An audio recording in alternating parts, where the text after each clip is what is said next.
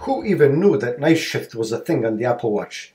This hidden away gem aims to improve sleep and reduce eye strain. The feature was introduced back uh, in 2016 by Apple. Initially available for iPhones and iPads, Night Shift aims to address concerns about the impact of blue light on sleep patterns. The feature's popularity and positive reception led, led to its expansion to other Apple devices, including Macs. It is actually a little known fact that Night Shift is also available on the Apple Watch. The setting acts just like that on the iPhone, but it is tucked away.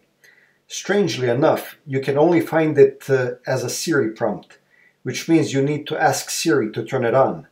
While this voice-activated method might be convenient for some, it lacks the option for users to schedule night shift or access it directly through the watch's settings. To add to the confusion, Siri says that you can schedule night shift in the settings but that's actually currently not possible. Despite the somewhat hidden nature of night shift and its activation limitations, the potential benefits of using it are significant. Activating it can help you sleep better as you will experience less eye strain when using uh, your Apple Watch at night. The science behind night shift is rooted in the understanding of how blue light affects our bodies. Exposure to blue light can suppress the production of melatonin, a hormone that regulates sleep.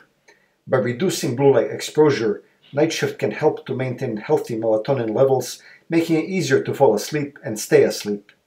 Night shift seems to only be available for Apple Watch Series 6 and up, so if you have one of the earlier generations, unfortunately you're out of luck. In addition to night shift, Apple Watch Ultra has a dedicated night mode, but this is a bit different. Night mode turns the interface a vibrant red to preserve night vision in low light conditions, this feature is particularly useful for outdoor adventurers and anyone who needs to maintain their night vision while using their watch. At the moment, the activation method of night shift on the Apple Watch remains a point of contention. It would be much easier to make use of the feature if it was, for example, integrated with the iPhone's night shift feature. The link up would allow for synchronized scheduling. Hopefully, this will be something Apple addresses in the upcoming WatchOS 11. Regardless, it is good to know about this hidden gem. If you thought you knew everything there is to know about your Apple Watch, this may have proved you wrong. The positive impact of night shift on sleep and eye health cannot be denied, making it a valuable tool for Apple Watch users who want to prioritize their well-being.